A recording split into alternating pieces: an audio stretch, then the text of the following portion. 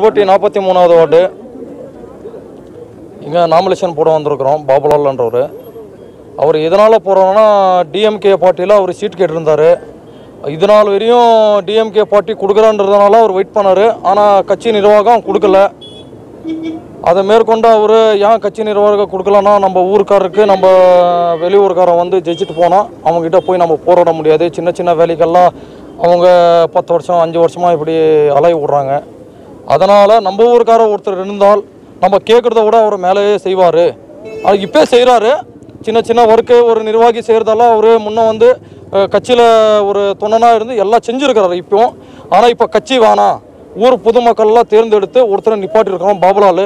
அவர் முன்னே வந்தால் இதோ இப்போ செய்கிறவர் ஜெயிச்சா இன்னும் நல்லா செய்வார்ன்றதுனால தான் பாபுலாலை தேர்ந்தெடுத்து அவரை வின் பண்ண வைக்கணும்ன்றதுனால ஊர் பொதுமக்கள் வேண்டிக்கிறோம் மூணாவது வார்டு பாபுலால் என்ற என்னோட நண்பன் நிற்கிறாரு குருப்பட்டி சார்பாக ஊர் மக்கள் சார்பாக எல்லாரும் பேசி கட்சி எந்த கட்சியும் இல்லாமல் பாகுபட்டம் பார்க்காம இண்டிபெண்ட்டாக போட்டி போட்டி போட்டுட்ருக்குறோம்.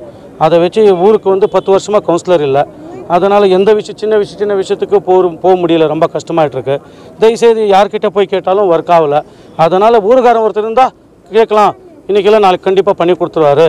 அந்த நம்பிக்கையினால் நம்ம எல்லாரும் பொதுமக்கள் சேர்ந்து கட்சி பாகுபாடு இல்லாமல் அனைத்து மக்களும் சேர்ந்து நல்லா நிப்பாட்டிட்டு இருக்கோம் ஜெயிக்க வைக்கிறேன்னு ஒ- இருக்காரு. நான் டிஎம்கேல சீட் கேட்டிருந்தேன். நாங்கள் வார்டில் மூணு பேர் கேட்டிருந்தோம். மூணு பேருக்கும் கொடுக்கல. பணத்துக்கு ஆசைப்பட்டு வேற ஆளுக்கு கொடுத்தாச்சு. நாங்கள் கேட்டு கேட்டு லாஸ்ட்டில் வந்து சுயேட்சா போட வேண்டியது ஊர் மக்களெல்லாம் தேர்ந்தெடுத்து சுயேட்சா நின்னு எல்லாருமே சேர்ந்து நிப்பாட்டு ஜெயிக்க இது பண்ணுறாரு ஜெய் பதினஞ்சு வருஷமாக ஒரு வேலை கூட ஆகல. ஊருக்குள்ளே ஒரு ரோடு இல்லை தண்ணி வசதி இல்லை. எல்லாமே போய் சாக்கடைலாம் அப்படியே கிடைக்குது. இப்போ வந்து ஆறு மாசமா வந்துட்டு ஒரே ஒரு ரோடு தான் சாங்ஷன் பண்ணியிருக்காரு.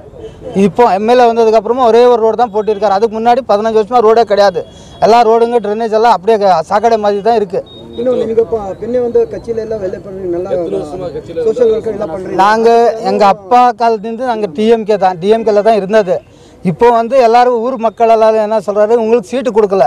அப்படின்னா நாங்கள் யாருமே ஊருக்கு கேவலமாக பேசுகிறாரு அர்த்தம் வரும் என்ன பண்ணுறா கறிக்கும் பாசு பைசாக்கு தான் ஓட்டு. அந்த ஊருக்கு என்ன நாங்கள் சீட் கொடுக்குறோம்? அந்த மாதிரி போகுது. அதனால நாங்கள் எல்லாமே ஊர் மக்கள் எல்லாம் சேர்ந்து இந்த வாட்டி வந்து நாங்கள் எல்லாமே ஜெயிச்சு காட்டணும்னு தான் சுயேட்சை நாங்கள் நிப்பாட்டுறோம். நின்றுட்டு இருக்கோம்.